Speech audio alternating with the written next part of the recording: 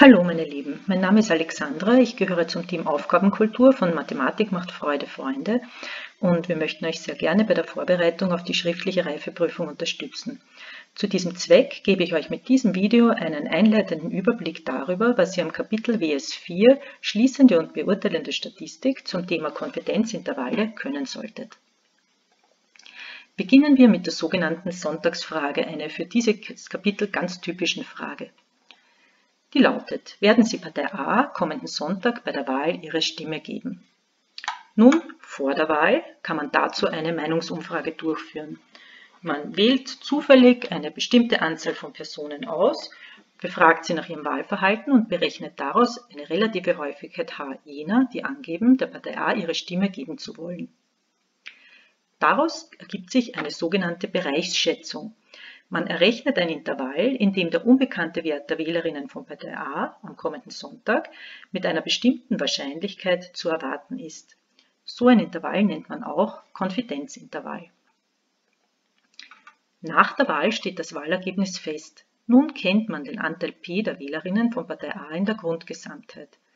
Nun ist es auch möglich zu vergleichen, ob dieser Wert tatsächlich im zuvor berechneten Konfidenzintervall liegt. Klären wir nun einige Grundbegriffe, die ihr benötigt, um im Kapitel Wahrscheinlichkeit 4 Schließende und beurteilende Statistik erfolgreich die Grundkompetenzaufgaben bei der schriftlichen Reifeprüfung lösen zu können. Zunächst wäre da der Begriff Grundgesamtheit. Ihr seht hier ein Piktogramm.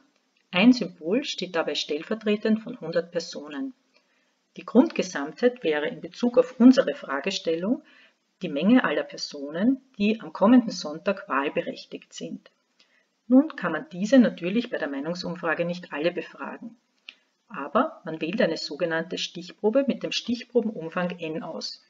Im Piktogramm habe ich das gelb gekennzeichnet. Die gelb gekennzeichneten Symbole würden also 400 Personen entsprechen, die zufällig für die Befragung ausgewählt werden. Von diesen 400 Personen, ich habe es hier rot gekennzeichnet, geben 100 an, die Partei A wählen zu wollen.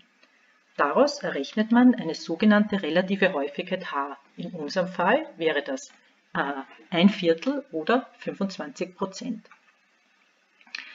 Nun, ausgehend von dieser relativen Häufigkeit H kann man nun ein sogenanntes Konfidenzintervall errechnen. Dieses ist symmetrisch um die relative Häufigkeit mit der Untergrenze H minus c und der Obergrenze H plus c. Typisch für dieses Intervall ist, dass das Wahlergebnis nicht sicher in diesem Intervall liegen wird, aber wir können ein sogenanntes Signifikanzniveau oder eine Sicherheit angeben. Darunter versteht man die Wahrscheinlichkeit, dass die unbekannte relative Häufigkeit der Wählerinnen von Partei A am kommenden Sonntag tatsächlich im zuvor berechneten Konfidenzintervall liegen wird. Typische Sicherheiten bei der schriftlichen Reifeprüfung sind 90, 95 oder 99 Prozent. Weiters gibt es noch die sogenannte frequentistische Deutung der Konfidenzintervalle. Auf diese werde ich in einem der Videos des kommenden Videozykluses genauer eingehen. Schauen wir uns nun an, welche typischen Aufgabenstellungen ihr im Kapitel WS4 äh, lösen können solltet. Da wäre zunächst einmal die Fähigkeit, dass ihr die Grenzen des Konfidenzintervalls berechnen können solltet, sowohl händisch mit der Formelsammlung als auch mit Technologie, wenn sie euch zur Verfügung steht. Eine weitere Grundaufgabe wäre, den Einfluss des Stichprobenumfanges n, der relativen Häufigkeit h und der Sicherheit des Konfidenzintervalls auf die Intervallbreite zu untersuchen. Weiters gilt es, Aufgaben zu lösen, indem ihr die frequentistische Deutung anwendet. Eine weitere Grundaufgabe wäre, die Sicherheit eines Konfidenzintervalls mit der Normalverteilung zu berechnen oder auch den Umfang einer Stichprobe zu berechnen, wenn die Sicherheit und die relative Häufigkeit gegeben sind. Äh, wo findet ihr typische Aufgabenstellungen? Ihr findet sie unter dem Link Aufgabenpool.at.